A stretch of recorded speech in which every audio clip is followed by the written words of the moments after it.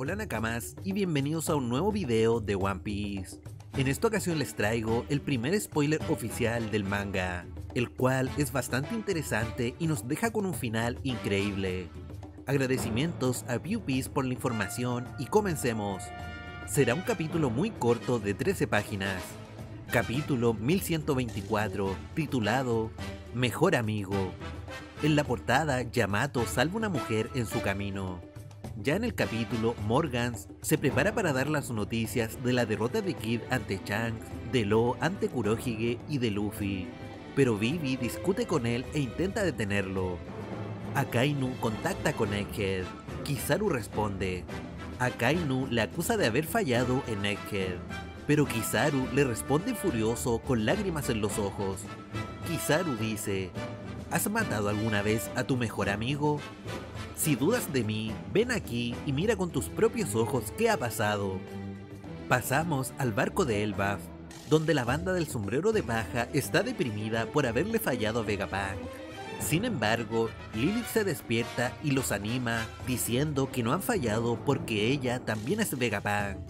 Al final del capítulo, la banda del sombrero de paja y Lilith celebran que van a Elbaf.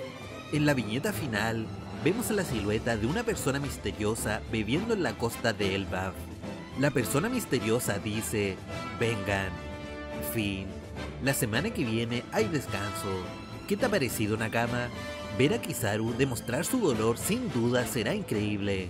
Durante todo este arco de Egghead, lo vimos sin mostrar muchos sentimientos, así que ahora podremos ver qué tan destrozado está.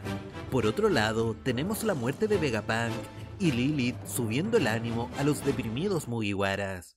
Aquí viene la pregunta más importante.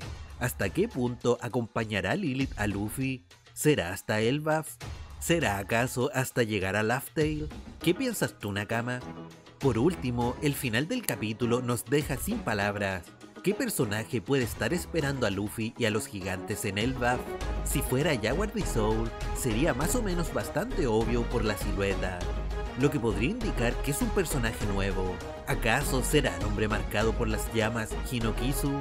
Déjame tu opinión abajo en los comentarios y si te gustó el video recuerda dejar tu like, suscribirte y activar la campanita para que no te pierdas ningún video nuevo de One Piece. Gracias si llegaste al final, un saludo Nakama y nos vemos en la próxima.